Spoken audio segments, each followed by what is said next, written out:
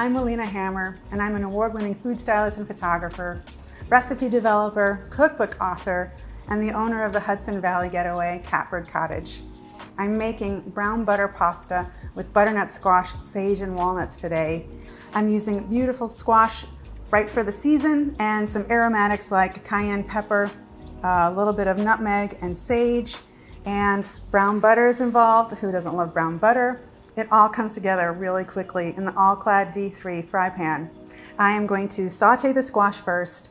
I'm going to brown the butter afterwards, and then when it's all ready, I'm going to toss the pasta into the finished dish, and it's just me gorgeous dreaminess in the pan. I can't wait to make it. Let's get started. So, I'm going to have this gorgeous squash. Anytime you've got an especially large squash, start at the center so that you've got some leverage to lean your knife down so that you can dismantle it easily. And I feel like even though I haven't cut fully through yet, I've done enough that I can just do that. Just scrape out the stringy bits and then you're gonna peel the squash. Sometimes the squash skin isn't so tough, but because I'm only cooking the squash for a brief time in the pan, knowing that this isn't gonna be something to consider just makes it that much easier. I'm gonna slice this in half lengthwise just to make the slices more manageable once they're finished cooking. It's basically bite-sized pieces. So similar thickness. I'm actually gonna start heating the pan so that when I'm finished with this, we're ready to go.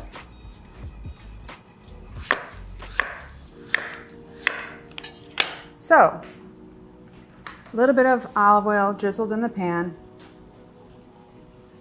I'm just gonna tilt the pan each direction to make sure it's well coated and then add my squash slices. I'm gonna keep a good eye on these so that when they start to become a little translucent and maybe some brown at the edges, then turn them. We'll season with salt, a little bit of fresh nutmeg, it's awesome in bechamel, it's excellent in tarts and galettes, fabulous in cocktails. Because butternut squash is buttery, but very mild, I love adding aromatics to give the squash a little more character. It's all going on pasta, so pasta as a form is beautiful, but it's also a really neutral kind of flavor. So to give flavor early on as I'm sauteing the squash means that at the end, when I'm eating, these things will sort of atmospherically give a little more oomph and wonder and maybe even something that's not so discernible, but that's delicious. This is a little cayenne pepper. So sizzling. I love how this pan conducts heat. You're gonna see some beautiful browning in just a couple minutes. In a certain way, I think when you can start to really smell the squash, that's when it's ready to turn. These are ready. So I'm just gonna turn these and give them a couple more minutes. That sort of buttery caramelization is coming through and it's just the beginning. I like to season both sides when I'm cooking. So I'm gonna, once again, do a little bit of nutmeg.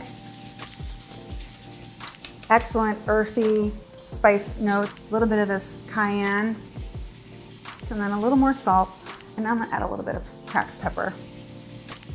These are gonna be ready in a second. Now that the pan is really hot, I'm adding a little bit more of oil to it to keep everything sauteing and not burning. When they start to feel slightly soft, give a little bit, that's when they're ready to be removed. I like to handle all the pieces as gently as possible because I want them to be as pretty once they're plated as they are at the outset. So now that the first batch is cooked, I'm gonna add the second batch.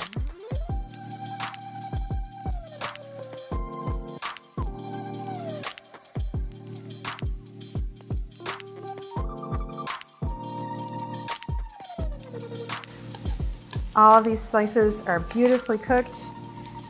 Remove them and get ready for some brown butter action. Here is the fun part. I love browning butter. It is such a fancy seeming term or preparation, but it's really ultra simple. If you can swirl a pan, you can make brown butter. So I basically just add this beautiful stick of butter and I want every last bit to be in the pan. So I'm just gonna add this little remainder and let it do its thing. I have it on a medium high heat right now because I want to accelerate to the melting foaming part of the melt. And after the foaming subsides, I'm going to turn the heat to medium so that I can control more readily how the butter progresses. But this is glorious, isn't it? You go swimming in this. So now you can see how the butter is foaming and making its beginning of the separating of the milk solids. I'm going to turn the heat a little bit lower, medium heat.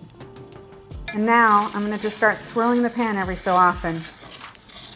Awesome thing about this all-clad fry pan is that because it's got a light colored surface, you can really see how the color of the butter shifts as it cooks. You'll also be able to smell it. So the nuttier that it smells, the closer that you are to it being ready. See how the bubbling changes from larger bubbles to this like almost like foam. It's kind of magical. And swirl. While the butter is browning, I'm gonna get the pasta going because I know I wanna drag the pasta as soon as it's done straight from the pot to the pan when the brown butter is finished. So season the water generously with salt, bring it back to a rolling boil, and then add the pasta. Cook your pasta basically according to the package instructions, but al dente is always a good rule of thumb.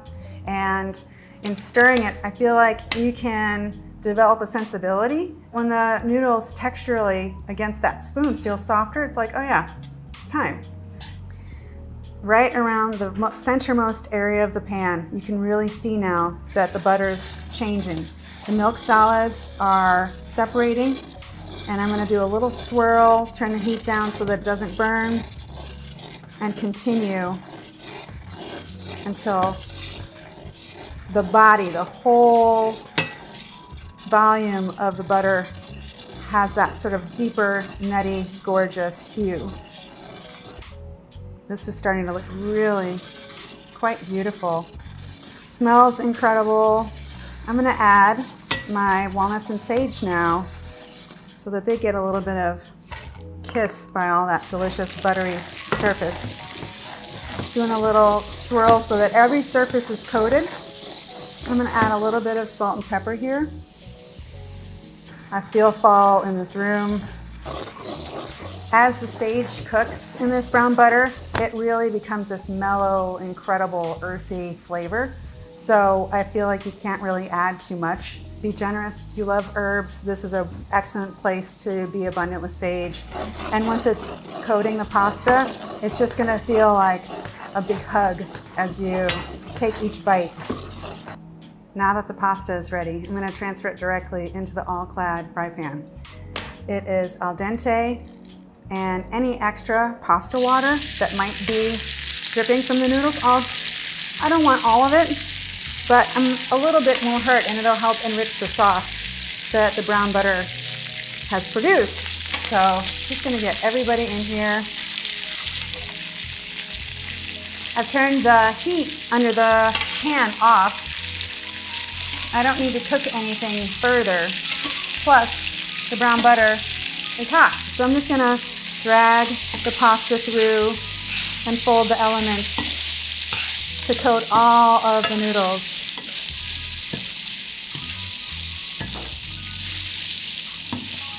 Once the brown butter is coating all this delicious pasta, I'm gonna add back in the squash. This looks gorgeous.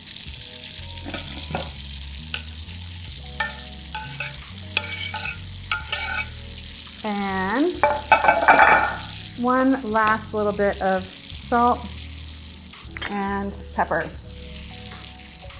And then just I use the back of the tongs because I don't want to mar the squash at this point. So I'm just sort of pushing them around to incorporate everybody so that it's a nice melange. And then I can plate it directly from the pan.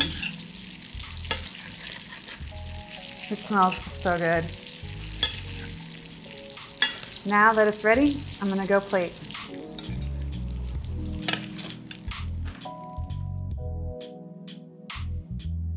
It's really fun for me to think about how it came together on the stove, all in the all-clad pan, and the whole time, even though the pan is hot, the handle stays completely without issue. I don't have to even think twice about it.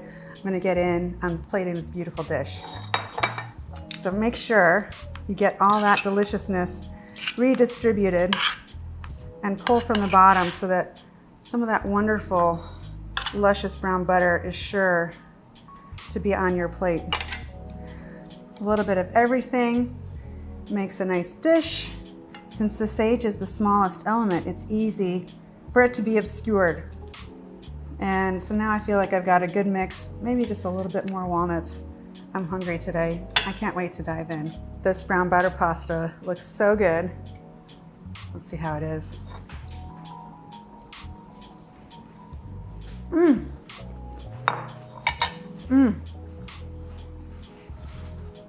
This is sustenance meets decadence, and it is so good. Find the recipe at Food 52.